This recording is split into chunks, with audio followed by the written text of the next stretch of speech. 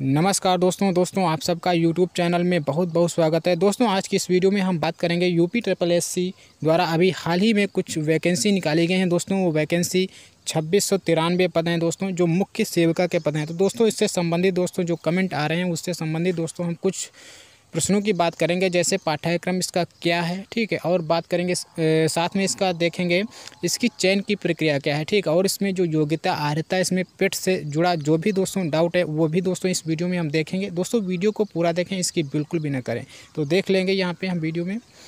सबसे पहले यहाँ पे हम देख लेंगे उत्तर प्रदेश अधिक सेवा चयन आयोग, ठीक है, विज्ञापन यहाँ पे दिखा है, ठीक है। यहाँ पे दोस्तों जो प्रारंभ तिथि है आवेदन जो शुरुआत होगा वो तीन आठ दो हज़ार बाईस को जो अंतिम तिथि है, चौबीस आठ दो हज़ार बाईस, और इसका संशोधन की जो तिथि है, वो इकतीस आठ दो हज़ार बाईस है। ठीक है, बिल्कुल ध्यान रखें। अनिवार्य अर्हता यहाँ पे देखेंगे। उपयुक्त सारणी में उल्लेखित मुख्य सेविका के पदों पर रिक्त चयन के लिए अभ्यर्थी को निम्न अनिवार्य अर्हता आवेदन की अंतिम तिथि तक जो है, अपार्याय मतलब आवेदन को जो आवेदन करना है, उसमें अपनी जो अर्हताएँ हैं, योग्यताएँ हैं, उनको भी उसमें जो है भरना है। ठीक, अनिवार्य अर्हता शैक्षिक में उत्तर प्रदेश बाल विकास पुष्टाहार द्वारा ये वैकेंसी निकाली गई है, ठीक। इसमें जो भी आर्य की बात की जाइए ठीक है। यहाँ पे अभ्यर्थी जो आवेदन करेंगे, भारत में वित्त द्वारा स्थापित किसी विश्वविद्यालय से एक विषय में, विषय के रूप में समाजशास्त्र या समाज कार्य गृह विज्ञान, पोषण, बाल विकास के साथ कला में स्नातक उपाधि, ठीक है।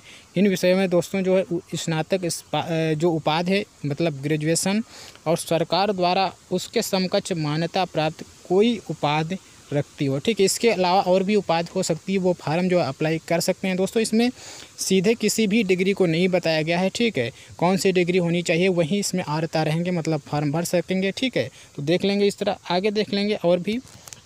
इसमें जो अधिमानी अर्हता की बात की गई है, वो क्या है? अन्य बातों के हिसाब से जो भर्ती होती, इसमें नंबर एक पर देखेंगे। ग्रामीण क्षेत्रों में बच्चों और महिलाओं में कल कल्याण कार्य करने का व्यवहारिक अनुभव होना चाहिए, ठीक है? नंबर दो में देखेंगे प्रादेशिक सेना में न्यूनतम दो वर्ष की अवधि तक सेवा करने वाला होना चाहिए, ठीक है? नेक्स्ट नेक्स्ट में देखेंगे, तीन में, राष्ट्रीय कैडर कोर का बी प्रमाण पत्र हो, ठीक है? बिन प्रमाण पत्र वाले जो है, इसमें अर्हता होंगी, उनकी वो फार्म अपना भर पाएँगे। तो दोस्तों, यहाँ पे हमने योग्यता, अर्हता की बात की, जो नोटिफिकेशन में जो है, जारी किया गया है, ठीक है?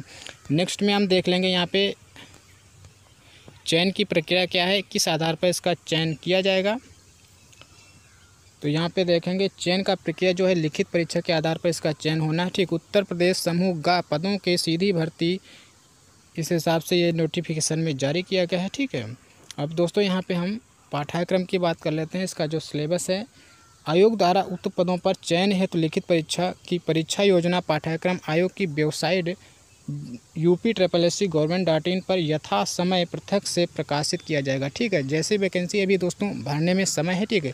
अभी इसका पाठ्यक्रम दोस्तों जारी नहीं किया गया है, ठीक है? लेकिन फिर भी आप जो है इसमें तैयारी कर सकते हैं, जैसे जीके है, हिंदी है, रीजनिंग है, अंक गणित तो इन विषयों पर जो है आप तैयारी कर सकते हैं, ये दोस्तों इसमें अनिवार्य होंगे, ठीक है?